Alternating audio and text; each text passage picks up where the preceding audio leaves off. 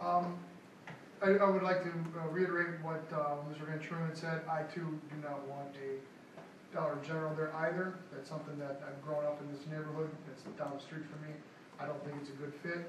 But like has been, um, stressed by the director, it's really not our say. Um, and I think, uh, Mr. Law Director, for us to review the uh, zoning, we have a difficult issue to say we don't want Dollar General there either. Right, we can't do that as easily as uh, potentially was implied.